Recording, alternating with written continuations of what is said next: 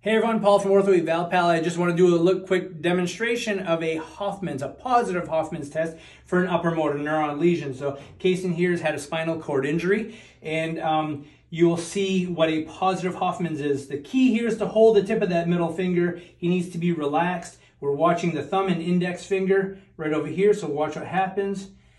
They come together. That is a positive Hoffman's sign. He has it on the other side also.